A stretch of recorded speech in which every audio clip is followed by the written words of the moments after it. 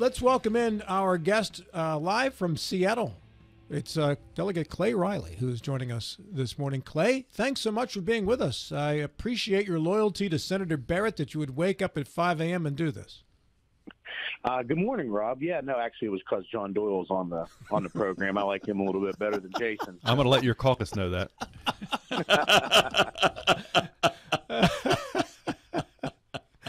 oh man, no, glad to be with.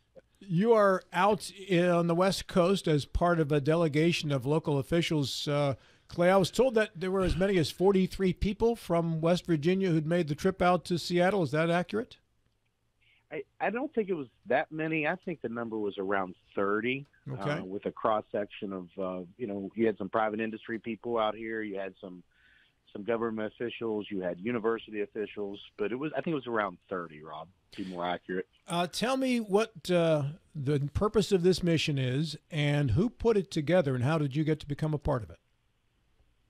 Well, you know, it's um, it, that's a great question. So, choose West Virginia really it kind of came about as an idea, you know, that West Virginia is really in a strategic position right now, and it's kind of a strategic intersection of where a lot of our challenges, but assets, specific or what used to be challenges and are now assets, are really kind of solutions to what some of the world is is really looking for. You know, the the theory that the urban, the rural is the new urban, and people are wanting to live in different locations. And what we recognize is that we really have a great story, but we're not great. We haven't been great storyteller. And so it was an idea, I believe, of um, Speaker Hanshaw, President Blair, uh, President uh, Marshall President Brad Smith, and WVU President Gordon Gee to where they really wanted to be able to tell our story so that people began to, you know, consider West Virginia because we've made a lot of progress over the past six to eight years, the past decade of really putting policies in place. And, you know, we want people to look to locate and choose West Virginia. What kind of meetings have you had so far, Clay? So we've we've met with a, a lot of different companies, whether they're they're small entrepreneurial companies to large companies like Amazon. You know, so one of the key components when you look at the area out here in Seattle, you have a lot of tech companies. So whether it's Amazon, whether it's Microsoft, you have major players in the industry, and they're building these data centers all over the place. And you know, I think West Virginia is a great place for that. So we've we've tried to leverage you know connections that we have and relationships that we have so that we can try to position one of those in the state of West Virginia. Jason. Good morning, Clay. And you mentioned um, being a better West Virginia being a better better storyteller. And so, my question is, how have you? How has West Virginia been received, or the West Virginia delegation been received in Seattle? And then also, you, you mentioned changes in the past six to eight years. Uh, are, are, the folks in, in Seattle and the companies you're visiting with are they aware of some of these changes and, and what specifically uh, are is, what specific changes are standing out to them? You know, um, it's a great question. Actually, we we've been received unbelievably well, and a lot of the things that we have done, and, and I can give a few examples, are really beginning to position us ahead of people uh, you know, two policies that I can think of that I know I've heard of this week. Uh, first is the single sales factor. So bringing our tax policy more in line or even in an accelerated place, um, whether it's a sales use tax for data, et cetera. Um, those tax policies to make it um, fair, more fair, more competitive state uh, nationally and actually worldwide that was one policy that, that was specifically mentioned. The other one is the site readiness. You know, so often there's they want to locate companies and places, but they, it takes time. You have due diligence. So the fact that we're starting to move forward with sites that you're not out building the sites, but you are doing the due diligence, the environmental, making sure that um, you know you know what infrastructure is located. The fact that we can move at the speed of business and we're more nimble has been um, really uh, positive. The other thing, I, when, as I said, we were really well received. everywhere we have gone, we have got the response that this is so unique. In a, in a time where political division is really strong across nationally, you have leaders from both parties, Democrat, Republican. You have members from the House, the Senate. You have universities, whether it's West Virginia University, Marshall University, West Virginia State. So everyone pulling in the same direction and working to improve the state. And, and when we roll in with all of those different perspectives, but singing in a unified voice, it's really made a significant impact. You mentioned you mentioned the uh, the fact that, that both Gordon Gee and, and Brad Smith are, are attending. Um, obviously, everyone knows about Brad Smith's leadership at Intel. Can you talk a little bit about uh, what he brings to the table and, and, the doors that he's able to open uh, uh as as the delegation uh, travels to Seattle? And, and, and I know some of us have gone to, to other meetings as well. Yeah, so when you have relations with people, relationships with people, it, it does help get the opportunity to kind of tell the story. And so, um, President Smith, President Gee have been very active in, in utilizing the alumni relationships, personal relationships, to get us the opportunity to tell the story. And so, it's made a significant impact. I mean, you just don't get into Amazon, you just don't get into Microsoft all the time, you just don't get to meet with. Uh, last year, there was a similar trip to Silicon Valley. And, you know, you had 30 CEOs from tech companies who were there wanting to, you know, hear the story of West Virginia. So it's definitely, those relationships have definitely opened up some doors that I don't think were previously there. You mentioned um, choose West Virginia and, and the overall goal of these trips.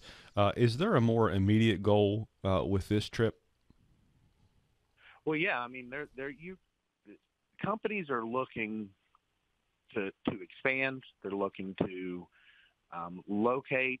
You know, one company that we met with is currently you know undergoing expansion of one of their businesses. So I, I don't obviously can't mention them for for for that reason, but you know the fact that we were able to talk about how they're looking to, you know, how they're looking to expand their company. The fact that we're within 60% of the population within an eight hours drive, the logistics of being able to move throughout West Virginia to whether it's south to, towards North Carolina, Florida, we're, our cost of living is 12% cheaper. So especially over in the Eastern Panhandle, you guys know your access into um, the DC market. So that's that's really just kind of been the part of the themes and part of the questions. John Doyle. Clay, how you doing? Good, Mr. Doyle. How are you? Splendid. Uh, first, first, I want to thank you for your tireless and invaluable work getting the PFAS protection bill passed in this last session of the legislature. Uh, that was really oh, important, and I, and I, very much appreciate it. Um, when did you folks get to Seattle? Uh, so traveled. I traveled out. I guess Sunday. Yeah. So I mean, so it's a long, long flight, four and a half hours. So I got there Sunday, and we're wrapping up. Uh, most of the flights are back today. Uh, you you all didn't happen to go to any of the baseball games while you were out there, did you? No, but I tell you what, you got to love when the Mariners win and they break out into country roads. That's what I, mean, I was going to tell you about. Just, I yeah, it, I we just infuse it, John. Yeah, no, I'm a Nationals fan, and the Nationals played there the last three days, and I saw all the games, and particularly when Clay Kelenic comes to bat, that's his walk-up song, and the crowd starts singing it. And several times, what would happen is they'd cut the organ music off, and the crowd would keep singing, and and the home plate umpire would have to wave his hands and tell the crowd to shut up so the pitcher could throw the ball.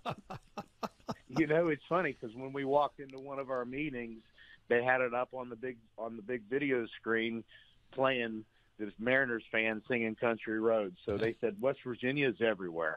Yeah. no, uh, so um, what what is the what is the name of your delegation or your trip or or whatever is it called? I've been I've been trying to listen for that and I haven't heard you or anybody say that. Choose West Virginia. Okay. Uh, we want people to simply Consider choosing West Virginia. Lo- choosing to live there, choosing to locate their business there.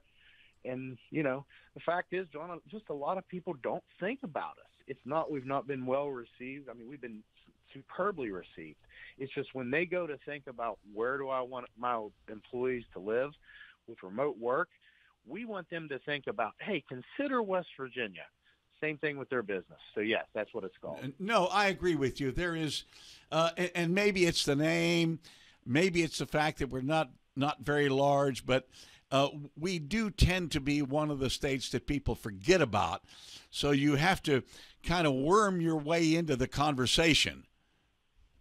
Oh, you're exactly right. You know, with 1.8 million people, um, we're big enough that we have every problem that everywhere else. However, we're small enough and nimble enough that we can make decisions to change quickly. So if there's a, you know, we were the one of the first states in the company to pass this fintech uh, financial technology sandbox, and that has allowed that banking industry to begin to test things in sandbox within our state that's creating jobs. And you see that with some of the entrepreneur schools uh, with WVU up in the Innovation Center. And so things like that where we hear of problems and opportunities, you know, we can then we we hear problems, we can then take, make them an opportunity by changing, you know, looking at how we can do things to accelerate, you know, those those entrepreneurs. Delegate Clay Riley is our guest here on the program. Clay, I want to touch uh, what uh, on what John brought up a little earlier and what you just mentioned too, and that is that you're. It's not that you're not being well received, and it's not that West Virginia is being disqualified. It's that West Virginia is just not in the conversation as a place to consider. As one of the reports that I read, and one of the things that has struck me about the rest of this country is that unfortunately, too much of it doesn't think of West Virginia as a state. They think it's Western Virginia as part of Virginia, like Northern Virginia is part of Virginia. And some of these people are very educated uh, as well. I'm, I'm talking about people that have degrees in education and such who actually think it's Western Virginia as opposed to the state of West Virginia. So, as a, as a practical matter, other than going and visiting and delivering the, the word of mouth that way, how do you get the word of mouth? Uh, how do you get the word out to the rest of the business world in this country and internationally that this is its own state capable of making great business deals for people?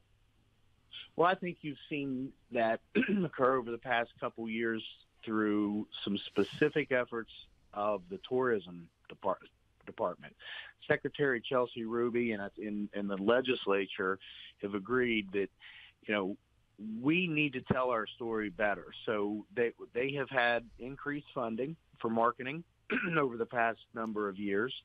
They actually purchased the rights to use country roads and you've seen a big marketing initiative to if you remember the old visit michigan um, kind of marketing tourism what they found was when people went they ended up staying and they ended up coming back. And so you've seen our marketing, our tourism dollars increase in revenue, not only on the spend side, but we've seen a return on that investment of about eight to one. And then what happens is people realize, hey, wow, you know, I can visit here, but you know, I can live here too. And so we've we've we that's one area. I think the Ascend program from the Wing to Wing Foundation that Brad Smith started has been a good positive influence. Um, you know, so they're bringing in small cohorts, but it's really there's been other people who have moved here even though they've not been part of that cohort.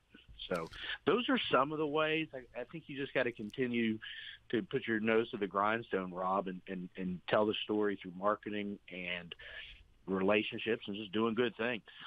Yeah, uh, Clay, uh, it's it's interesting. You mentioned tourism. West Virginia Tourism is this year sponsoring the Washington Nationals, and on on these ball games these last three days, it was interesting. Even the Nationals announcers were remarking that they were hearing "Take Me Home, Country Roads" at least once every inning, uh, e- either from the commercials that uh, that that that, this, uh, that MASN, the Mid Atlantic Sports Network, was using, or the crowds out there in in, in Seattle.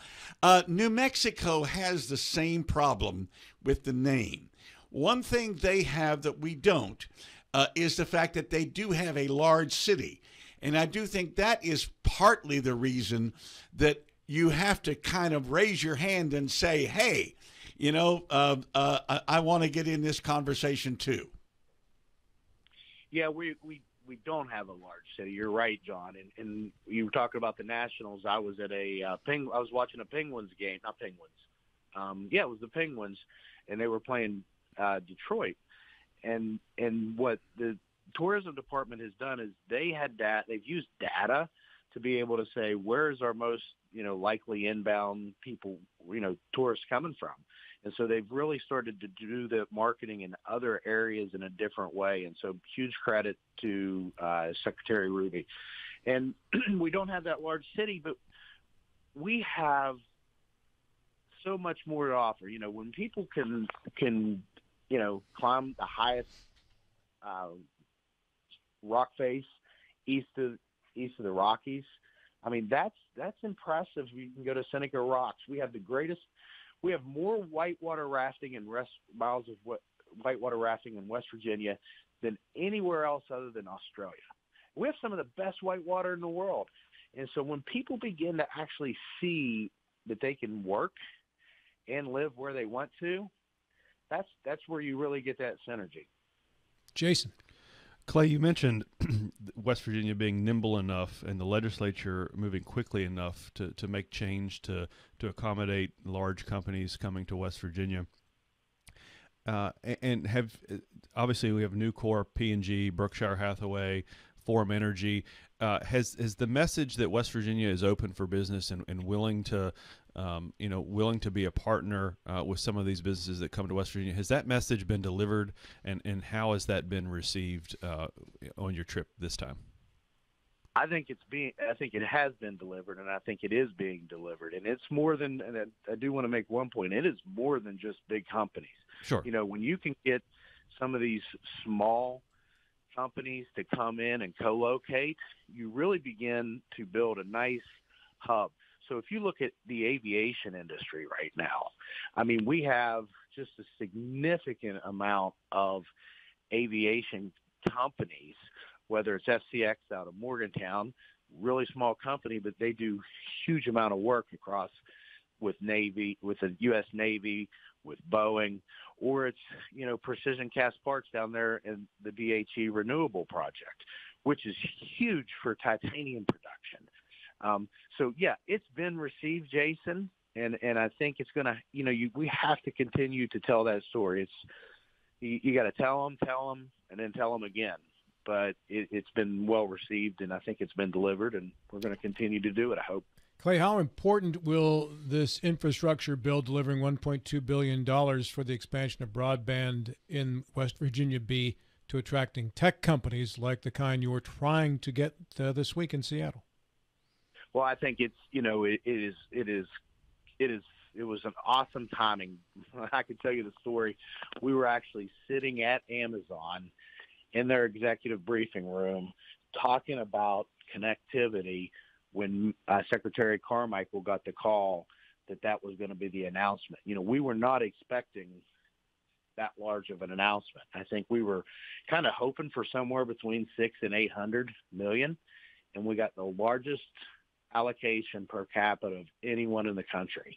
And we, it's because we had our programs up and running. We, you know, Jason, uh, Senator Barrett was talking about, you know, making sure that we're putting these things into place so that when they come about, we can, you know, be nimble enough to, to execute them.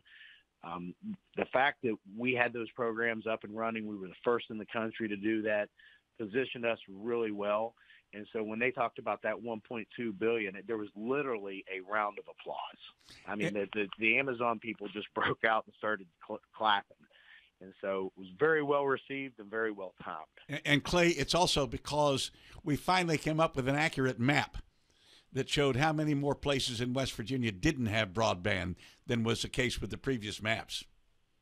Yeah, and, and we were fighting the FCC from the beginning on that, John. You're correct. And, you know, I think, you know, to our congressional leaders, Senator Capito, Senator Manchin, uh, our, our, our congressional delegation really fought that with the FCC and the fact that the Office of Broadband began working on making sure that we do have an accurate map even before they were going they announced they were going to update the maps made a big difference. You're correct. I know, uh, obviously, Capito and Manchin voted for that infrastructure bill. Mooney voted against it, if I recall, but I don't know how Carol Miller voted. She voted no as well. She voted no as well. Yeah, it, that's interesting the way that broke down because obviously the state really needed those funds to accomplish what you guys are trying to accomplish out in Seattle. Is there anything missing from the tax policy of the state right now, Clay, Jason, or John? that would help seal the deal on some of these uh, proposals you folks are making this week to try to bring more business to West Virginia. Clay, you go first.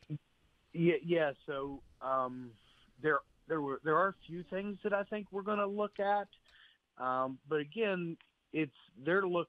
There are, but we, the, as we talked earlier, there's some things that specifically we have done. You know, we were told for um, based upon some internal uh, matrix, I guess you could say, ranking, that we were in the top 10 of their tax policy for, for this company of where to locate. You know, you see some of the, the, the rankings that we're 22nd in, in tax policy from the Tax Foundation, I believe. But they said for their specific business that that we're in the top 10 and there are there was one thing that they mentioned but um you know so i think we'll probably continue. They did talk about the income tax reduction for their people and their employees, you know, making sure that there's more money back in their pocket. They thought that was a good thing. Take what you need, but don't take more than you have to. So I think we'll probably look at some things, but there was nothing that they said, hey, you have to do this. You've already done the heavy lifting, is what they told us. Jason? Well, I think the the obvious answer is that we could have done a better job with the equipment and inventory tax on large for, for business, and, and, certainly the legislature has has done what we're able to do, uh, giving the outcome of Amendment Two uh, for businesses that have assets uh, less than a million dollars. Uh, as it relates to personal property, they get that refunded. That's obviously a little convoluted. Uh, it would have been a lot easier if we could have just uh, you know eliminated the tax, which I think would have appealed to business.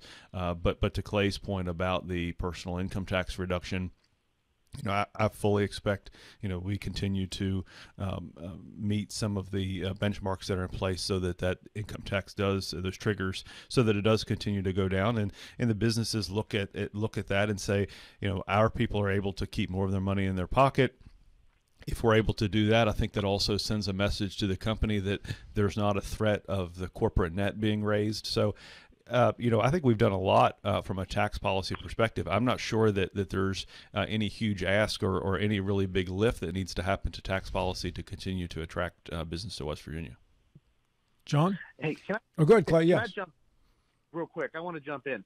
One of the things that they did talk about was the fact that we have a very stable and predictable tax environment with our, our rainy day fund at almost 20% of our total re- revenue for the state budget, our pensions being mostly fully funded, that was something that has been was kind of resonated, and I, and I didn't think about that until Jason mentioned that. And I wanted to make sure we get that in. So the predictable tax environment was something that they they appreciated. Good point, Clay. That's that is what I was going to say.